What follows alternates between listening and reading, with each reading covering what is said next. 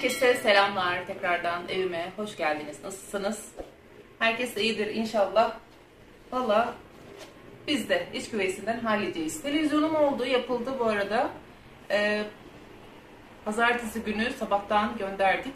Akşamına da yapıldı. Ekran kartı yanmış. Bu elektriklerin sık sık gidip gelmesiyle alakalı bir problemmiş. Biliyorsunuz daha önce buzdolabımda elektriklerin gitmesinden dolayı şartelimiz atmıştı. Bize evde yokken. Ee, ve buzdolabının içindekiler kokmuştu. Buzdolabını o yüzden değiştirmek zorunda kalmıştık. Eğer daha önce izlemeyen, bilmeyen varsa öyle söyleyeyim. Umarım bundan sonra bu elektrikle alakalı hiç sorun yaşamayız. Sanırım 700 lira ücret ödedik. Kahvaltıdan sonra ben biliyorsunuz çayı salonda içiyorum. Dedim ki normalde hiç açmam televizyon. Şöyle bir açayım bakayım neler varmış gündüz kuşağında. Hiç bilmiyorum televizyonda ne, ne var, hangi programlar var. Gayet gayri ihtiyar televizyonu açtım. Televizyon açılmadı yani. Ses var ama görüntü yok. Ee, tekrar kapatıp açtım düzeldi. Çok randıman vermeyecek herhalde artık. Ee, bilmiyorum miadı mı da oldu ne oldu ömrü mü tükendi. İnşallah bundan sonra herhangi bir problem olmaz da. Biz yapıldığına dua ediyoruz yani öyle söyleyeyim. En azından e, ekstradan bir televizyon masrafımız da çıkmadı. 700 lirayla kurtardık diyoruz. Şimdi gördüğünüz üzere burada market poşetlerim var. Ee, pazartesi günü akşam biz her akşam biliyorsunuz yürüyüşe çıkıyoruz. Yemekten sonra yine böyle yürüyüşten gelirken bizim buradaki e, manava daha önce sizinle gittik o manava siz de biliyorsunuz. Manavda bamya vardı. Bamyalar böyle buruşmuştu. Fiyat da çok uygun geldi ama buruşuk bamyayı da alacak halimiz yok. Ee, yarın taze bamya gelecek. Yarın gelin isterseniz dedi. Ee, dün gittim. Dün Kemal nöbetçiydi. Ben bütün işlerimi ona göre ayarladım açıkçası. Hani Kemal'de yok, yemek problemim de yok. Ee, rahat rahat bu kışlıklarla alakadar olurum demiştim ama e, bir gittim ki bu kadar bu kadar koca koca bamyalar. Taze bamya yani küçük bamyalar bugün gelecekmiş. İyi dedim hadi geç olsun güç olmasın. Dün taze fasulyeyi almadığıma pişman oldum. Keşke alsaydım. Dün o fasulye aradan çıkardı. Ee, neyse bugün de biraz önce oğlumla beraber gittik. Hem biraz market alışveriş yaptık. Ben de manava uğradık. Ama manavda yine bamya gelmemişti maalesef. Cuma cumartesi kesin gelecek abla dedi ama bilmiyorum inşallah gelir. Benim istediğim bamyadanmış. Küçük bamyadan gelecekmiş ama kilosu 50 liraymış. Ee, yani yapacak bir şey yok. Van'da sadece bulduğum tek yer burası. Ee, bu manav başka hiçbir yerde görmedim. Arabayla da çıktım gezdim. Bize bana uzak olan manavlar var. Şu aşağı Bahçıvan Mahallesi'nde. Bahçıvan Mahallesi diye geçiyor. Orada 3-4 tane manav var. Onları da gezdim büyük manav olarak ama orada da yoktu bamya. Tek getiren manav burası. Mecburen 50 lirayı vereceğiz. Alacağız yani yapacak hiçbir şey yok. Buradayız. Salatalık, taze salatalık yemeye hasret kaldık gerçekten. Koca koca salatalıklar. Şöyle manavdan bir bağ maydanoz aldım.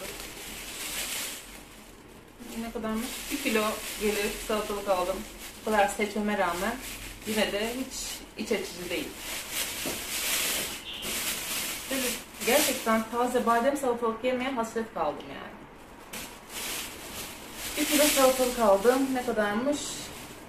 7 lira tutmuş. Maydanoz. Şöyle bir kavun aldım. Ee, kavunumuz 5 kilo 19 lira tutmuş. Burası market. Biraz meyve aldım. Onları hemen dolaba yerleştirdim. Muz da erik, şeftali ve muz aldım. Ceylin muz istemişti. Onları dolaba yerleştirdim hemen. Ne yapıyor yazmıyor. Ha, bunu manavdan aldım çünkü. Bunları marketten aldım, bunu manavdan aldım. Ee, kilosu 12 liraydı. Muhtemelen burası da 1 kilo gelir. Ve şöyle 17 kilo, e, 17 lira kilosu taze fasulye. 3 kilo da taze fasulye aldım. Bunu şimdi yıkayıp kavurup dolaba koyacağım. İnşallah bugün aynı zamanda kıyma da çıkardım akşama. Bir şeyler yaparız kıymadan. Fasulye de biraz kendime pişirebilirim. Sonra aşurelik malzeme alayım dedim. Fiyatlar dudak uçuklaşıyor gerçekten. Gözlüğün neden kapandı? Niye söylemiyorsunuz gözlüğümü çıkar diye? Kendime bakmıyorum demek ki kameradan. Yemişçilerde bu tür kuru e, meyveler satılıyor işte. Kuru incirdir, kuru kayısıdır. Baktım yoktu. Yani e, güzel sarı kayısı yoktu. Siyahlardan vardı. Siyah benim evde de var. Ee, sonra marketten alayım dedim. 180 lira kilosu. Şu kadarcık bir şey aldım. 100 lira tuttu. Onu almadım. iade ettim. Migros'a uğradım hemen gelirken. Şunların kayısı. ikisi de 200 gram herhalde. Bakayım. Yok bu 140 grammış kayısı. Ne kadar pahalı şuna bak. 140 gram kayısıya 30 lira veriyoruz maalesef. İkisi de 140 grammış. Bunların ikisine 65 lira ücret ödedim. Kayısı ve incir. Sonra eee, dün bunu şoktan aldım herhalde. Aşurelik buğdayım evde çok az kalmıştı. O yetmez diye şöyle bir kiloluk aşurelik buğday aldım. Bunun da fiyatını inanın hatırlamıyorum ne kadar olduğunu. Sonra şöyle bir eee fındık içi aldım. Bu da 30 liraydı. Evde kuru üzümüm, kuş üzümüm var. Ee, karanfilim var, cevizim var. Onun dışındaki pirinç mirinç, süt onlar evde var zaten. Ekstradan bu sene bir de elma koymayı düşünüyorum. Elmanın kabuğunu soyup karanfili elmaya batırıp öyle atıyorlar aşurenin içerisine. Ve bu sene de öyle deneyeceğim. Bakalım artık yarın mı yaparım, öbür gün yaparım bilmiyorum. Böyle ufak bir alışveriş yaptık. Buna ne kadar verdim? Markette 60 lira, Migros'ta 65 lira, ee, Manav'da da yine 60 lira harcadım.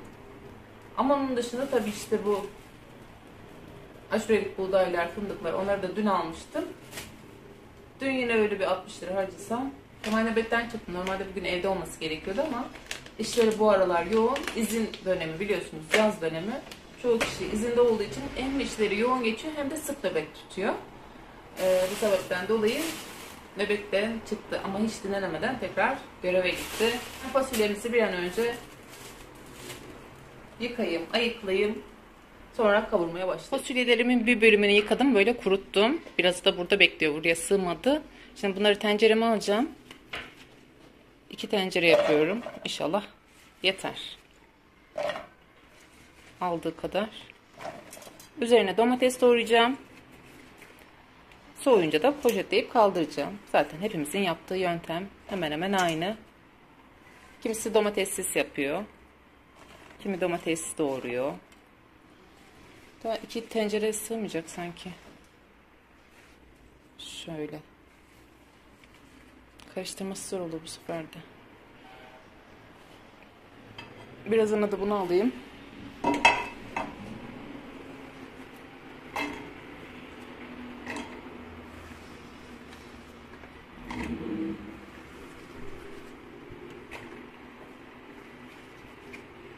Ve alalım buraya.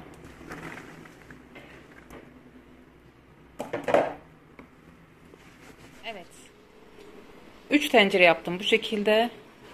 Şöyle domateslerimi de doğradım. Sıvı yağ koydum. Birazcık da tuz attım. Tuzunu çok atmıyorum çünkü unutuyorum ben. Yemek yaparken de attığım için çok tuzlu yemek yapmayayım diye. Şöyle hepsini ayarladık. Şöyle kapağını da kapattım. Ee, biraz önce bir arkadaşım aradı. Bamya arıyorsun. İşte şu markete gelmiş diye. Fiyatı ne kadarmış biliyor musunuz? 62,5. Dedim ki yok ben bizim manavı bekleyeyim en iyisi. Daha sonra başka bir arkadaşla görüştük. Bu akşam bizi çaya çağırıyorlar. Aslında hafta sonu çağırmışlardı bizi geçtiğimiz hafta sonu cumartesi günü ama biz piknikte olduğumuz için tavuk kokan halimize de gitmek istemedik. Ee, Ceylin'in doğum gününde müsait değillerdi. Yine pasta keseceklermiş. Ee, geçen haftadan beri çağırıyorlar. Bu akşam da oraya gideceğiz inşallah. Bunlar da bir an önce pişer. Ben de akşam yemeğimi yetiştirebilirim zamanında. Yavaş yavaş kavrulurken ben de o sırada akşam yemeğine ne yapacağımı karar vereyim. Kıyma çıkarmıştım ama ne yapacağımı karar vermemiştim. Bir düşüneyim bakalım biraz da dinleneyim daha sonra tekrar görüşelim. Sabahtan beri matkap çalışıyor biliyor musunuz? Size de bu işkenceyi yapmak istemediğim için kamerayı açamadım. Ee, şöyle akşam yemeği için fırında köfteli patates yapacağım. Domatesli, biberli falan yapıyoruz ya. O yemekten yapacağım. Patatesleri elma dilim dilimledim, yıkadım. Ee, kızarmayı bekliyor. Köfte harcım da tamam. Pirincimi de ısladım. Ben ne zamandır pilav yapmıyorum. Hep yemeklerin yanına makarna falan yapıyoruz. Öyle geçiştiriyoruz. Pirinci bayağıdır yemiyoruz. Hatta bulgur mu yapsam diye düşündüm ama sonra dedim ki çocuklar yemeyecek boş yere. Yapma Esma. Pirinç yapmakta karar kıldım. Bu akşamki yemeğimiz bu şekilde olacak. Ben şöyle yavaştan kızartmaya başlayayım.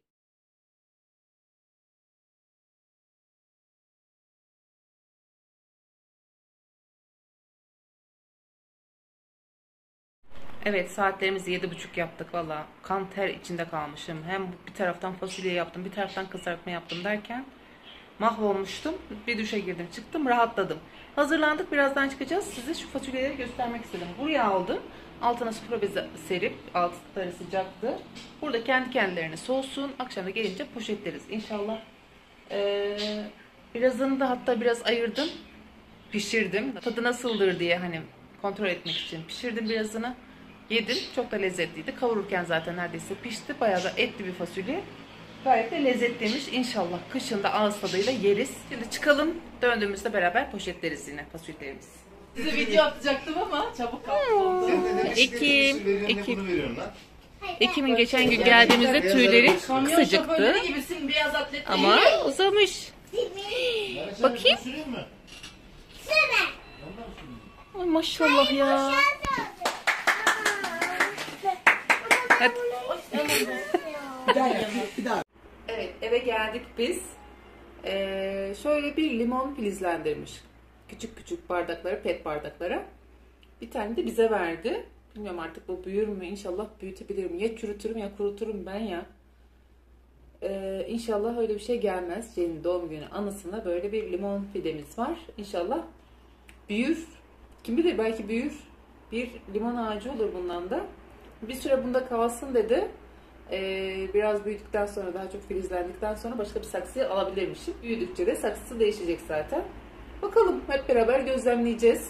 Umarım çürütmem. Ee, Ceylin'e pasta kestik biliyorsunuz. Hediye de almışlar. Sağ olsunlar bir çanta almışlar Ceylin için. Düşünmeleri yeter daha doğrusu. Öyle söyleyeyim. Hediyeye bile gerek yoktu.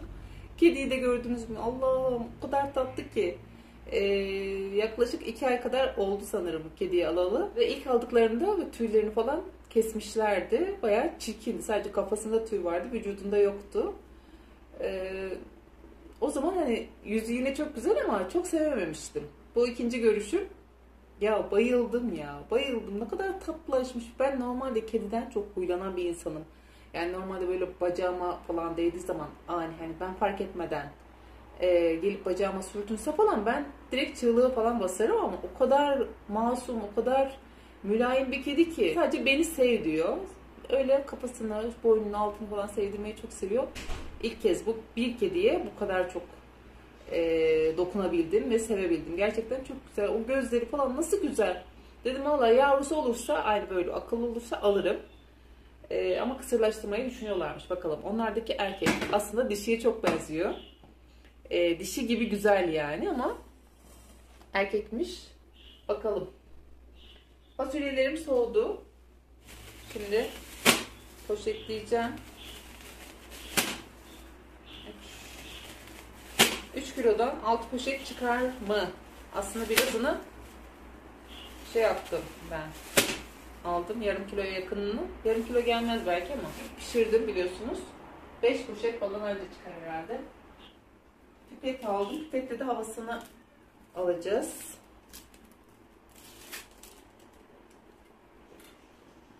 Haydi bakalım.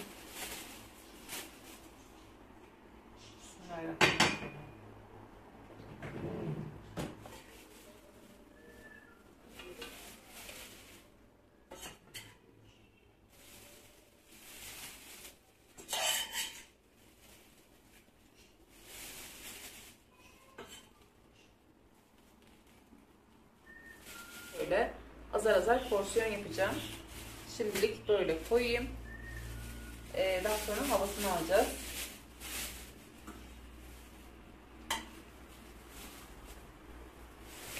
Başka koymayacağım fasulye. Sadece 3 kilodan yeter.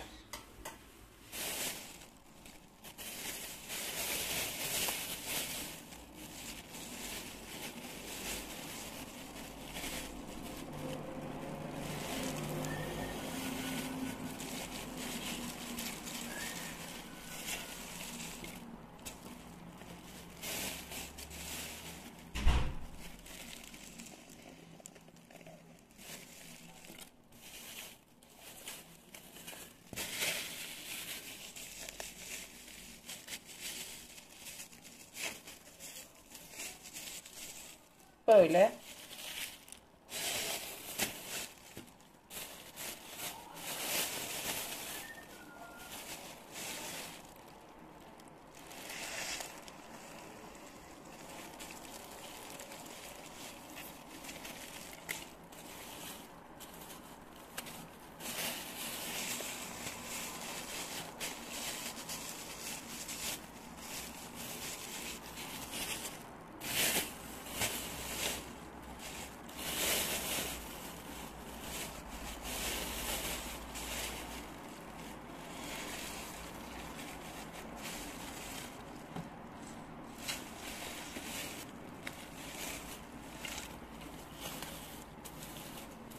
Biraz az olmuş.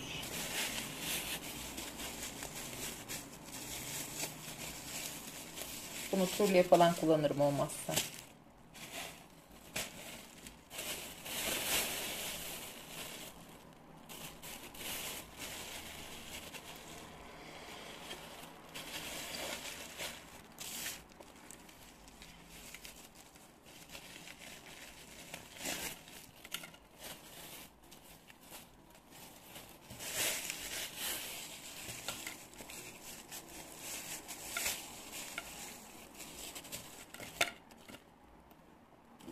Evet şöyle 1 2 3 4 5 6 ve 7 poşet çıktı. Aslında 6 poşet çıktı. Bayağı az oldu. Bunu tür falan yaparken kullanırım ya da artık bir günlük iki kişilik bir yemek olur. Allah bereket versin. İnşallah ağız tadıyla tüketmeyi nasip etsin Rabbim. Sağlıkla, sıhhatle. Evet, ilk kışlıklarımızı yapmış bulunuyoruz. Bunları hemen ben dolaba atayım. Evet, bu şekilde sıraladım. İnşallah yarın da buraya bamyalarımı koyarım. Domates sos yapmayı düşünüyorum. İnşallah domatesin fiyatı düşerse. Bu sivri domatesler var biliyorsunuz. Onların fiyatı diğer domateslere göre biraz daha uygun. Ondan bulursam şayet e, ondan alıp domates sos yapmayı da düşünüyorum. Aynı zamanda domates konservesi yapıyorum ben biliyorsunuz. Menemenlik olarak yapıyorum ama bunu menemenden çok e, domates çorbalarına, makarnalara falan sos olarak kullanıyorum. Dolabım hala bomboş. Öyle çok bir şeyim yok. İnşallah zamanla dolduracağız. Şimdi ben de bu fasulyeden çıkan tencereleri falan yıkayacağım. Bulaşık makinem tamamen dolu. Makineyi de çalıştırırım. Tencereleri de elimde yıkarım. Ben artık burada videomu kapatayım. Umarım keyifli, sıkılmadan izlediğiniz bir video olmuştur. Bir sonraki videomda görüşmek üzere. Kendinize çok çok iyi bakın. Sizleri seviyorum. Hoşçakalın.